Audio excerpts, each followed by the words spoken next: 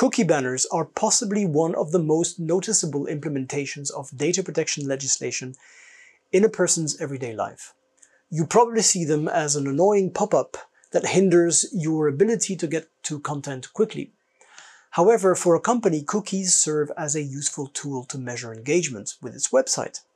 And for content publishers selling their space to advertisers, cookies are a means of determining how much you as a visitor are worth for advertisers. These advertisers engage in programmatic, real-time bidding to win a split-second chance to promote a product it thinks you're likely to click on. I personally never intentionally click on any ad.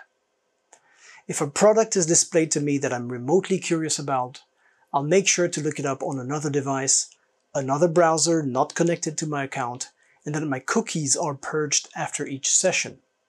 Well, that's not perfect, but it's a start. But taking the perspective of the publishers selling their space to advertisers, it's in their interest to have the most visitors accept these cookies. That interest, however, leads to companies nudging website visitors to accept cookies in manners that are outright non-compliant. In today's video, we'll be looking at cookie banner designs and explaining which ones constitute compliance with data protection laws and which have been deemed non-compliant due to the use of so-called dark patterns. Whether you've been making those decisions in your company or not, you might find some interesting takeaways to bring back to your team. Perhaps before we start, let us recap briefly the governing legal principles that are set in plain terms for companies to abide by. The use of cookies is currently regulated in the EU by the 2002 e-privacy directive, updated in 2009, specifically its Article 5 on the confidentiality of communications. The most recent amendment requires controllers to appropriately inform the users about the placement of cookies on their device, and to give them the ability to opt in to those cookies that are strictly that are not strictly necessary for delivering the page content onto the user's terminal. Additionally, the General Data Protection Directive, which was upgraded to a regulation in 2018, defines what constitutes consent. This double obligation for providing transparency and user choice has resulted in the creation of cookie banners as a means of delivering that information and allowing to opt in to the setting of non-essential cookies.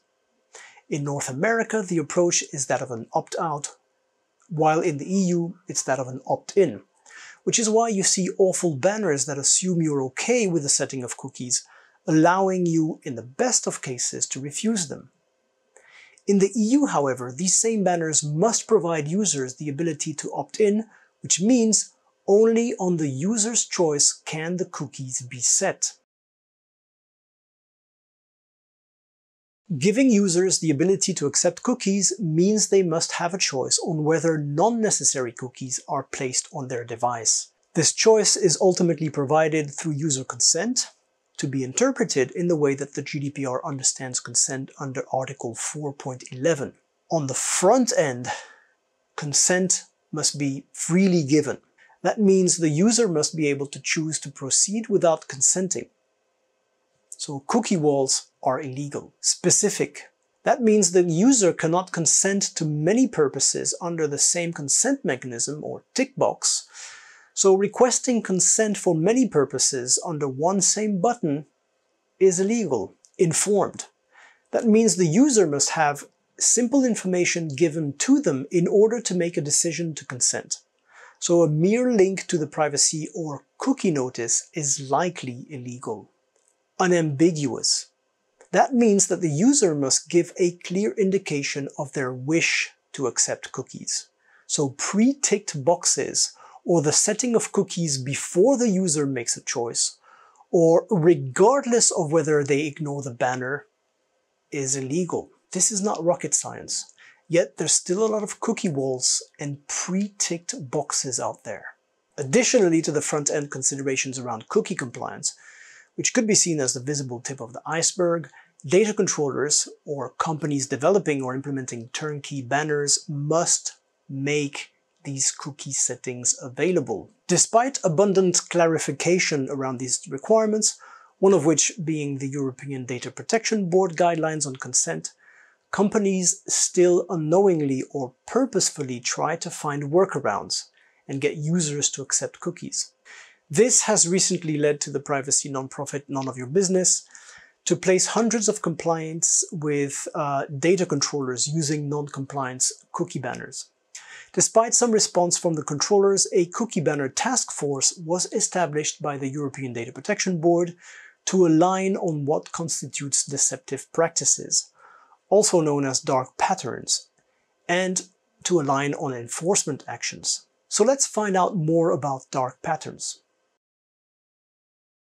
Deceptive design patterns, also known as dark patterns, are defined by the European Data Protection Board as interfaces meant to influence users into making decisions that are not in their best interest, but in that of the controller.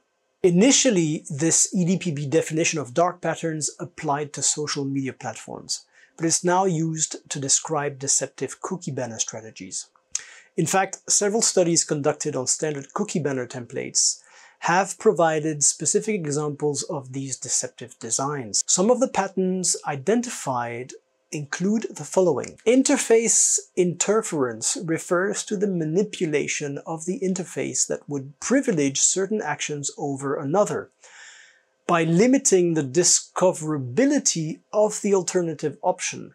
For example, uh, having an accept all button that is easily accessible and visible on top of the banner, whilst the option to reject all can only be found after scrolling past several paragraphs of text, which is called a false hierarchy.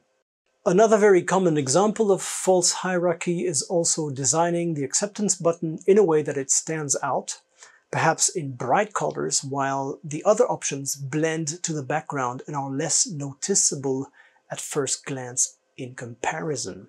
This type of design brings into question whether the consent was truly freely given, considering that the data subject were nudged to make a choice and may be completely unaware of the possibility of opting out. Sneaking refers to hiding the relevant information and only providing the ability to opt out behind a less visible and unformatted hyperlink. As such, it challenges the notions of freely given and informed consent. Oftentimes, this looks like a banner that presents a large and visible accept all button and a smaller text reading more options or manage settings displayed in a corner or not formatted as a button. Additionally, cookie banners continue to offer pre-ticked boxes or simply interpret continued scrolling as an indication of consent. These two go against the requirement of consent to be an unambiguous indication of the user's wishes. What is needed is simply clear and affirmative action. A good starting point is to ensure that the cookie banner meets the consent requirements indicated in Article 4.11 and Article 7 of the GDPR. You need to ask yourself whether you provide users enough accurate information as to the placement of cookies on their device. Do you allow the option to choose whether to accept each category of cookies in a granular manner? Do users tick the option themselves? Are you potentially misleading users to pick one option over the other? Furthermore, national supervisory authorities provide cookie banner guidelines, which are of particular interest for those of you who are under the jurisdiction of those countries, but for those who aren't, still provide a good basis for how to ensure that the banner on your website is in compliance with EU standards. Particularly useful in that respect is the German Good Practice Initiative for Cookie Banner Consent Management Design Guideline. The guideline includes examples of compliant designs, advises on layered banners, and on managing user consent over time.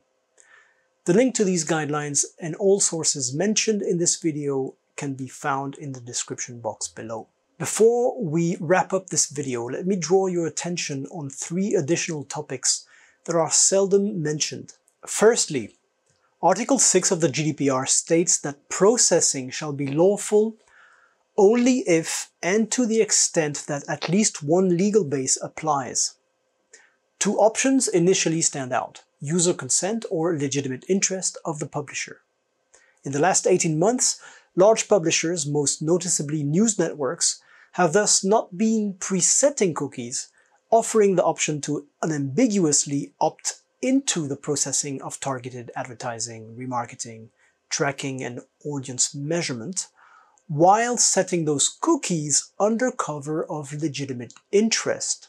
This exploits the potential interpretation loophole created by the formulation in the law of at least one legal base applies. Newer implementations of this workaround add a touch of compliance by allowing the user to dig deeper and object to the legitimate interest, which is a data subject right provided under Article 21 of the GDPR. The aggravating factor, however, remains that of the overarching deceitful dark pattern of making it much harder to be informed about what is actually happening and simultaneously much harder to object to the processing, which is a blatant violation of the fundamental principles of EU data protection, which are transparency and control. Secondly, relative to transparency and control, almost every site you visit provides a banner or some form of informative interface that disappears once you formulate your initial choice. Site publishers are quick to argue that they set cookies to provide you with the best possible experience, but they don't inform you of what that experience is, nor provide you with the means of altering your settings past that first choice. So if you're going to provide settings, make sure they are accessible at any time.